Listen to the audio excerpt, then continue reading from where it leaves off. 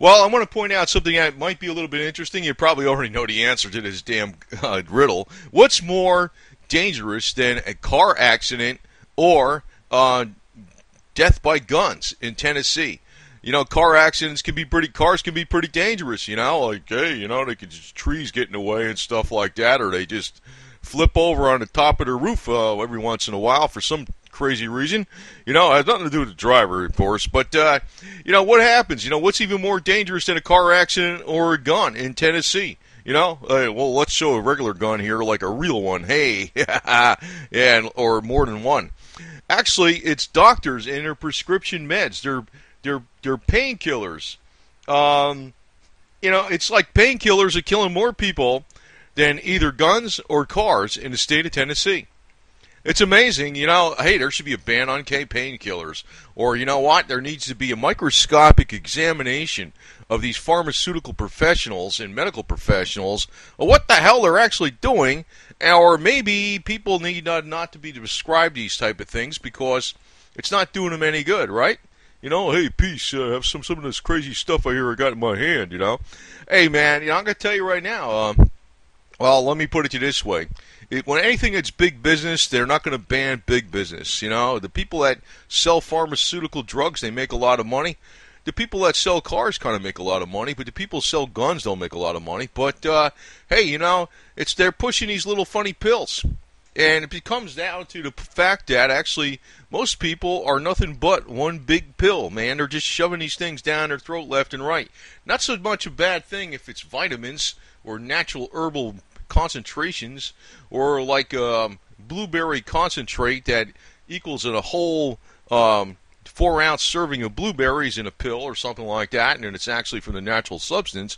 But no, these are concocted in chemical laboratories. So, uh, you know, it's like the magic. You know, people are always looking for a magic pill to change their self, change their psyche, make them feel better uh, make them something special or whatever. You know, get rid of some, not even just get rid of some pain. It could be get rid of some pain, but everybody's looking for a magic pill. And you know, the thing is, the magic pill really is nature itself. Um, nature cannot be surpassed. Actually, just nature is a little bit slower. Nature requires a little more work. And uh, you know, the thing is, we need to stop listening to the dictator in chief over here and whoever's going to be his replacement. Um, who's hand chosen by the elite, of course, because we know that's the deal. Even Jimmy Carter was hand chosen by the elite. You know, way back when Jimmy Carter, he was hand chosen by the elite. Nobody's an upstart. Obama's not an upstart. He was hand chosen by the elite. But you know, the policies that we always see are pushing towards uh, restriction on gun control, restriction on freedom of movement through Google cars, and also we're going to start seeing a lot more forced medication through Obamacare or government care. So let's fight the damn power. And uh, as we say, don't just push them back, push him way, way back. You know what I mean? Let's push these guys right off the freaking side of the cliff. And uh, by any means necessary, man. These are special magic potent pills in this uh, weapon here.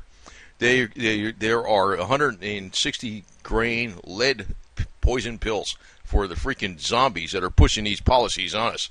And uh, just please drive carefully while you're freaking out there fighting the powers. Don't go running into any trees or flip your ride over, because then I'll be pushing for this damn Google Cars crap again.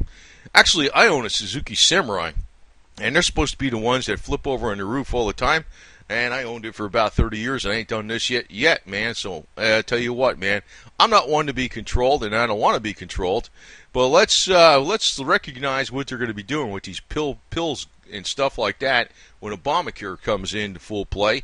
And do not believe this Hillary Clinton yo-yo lady who's talking about because actually, you know, she's in there pushing for gun control left and right. And you know what? She says she's flipping on a position on Obamacare and government care to force you from, uh, you know, about uh, taking pills and all that type of stuff. But I can guarantee you she's not. I'll guarantee you she's not. So anyway, let's fight the power together. And you know, I'm going to tell you right now, the elite are nothing but human.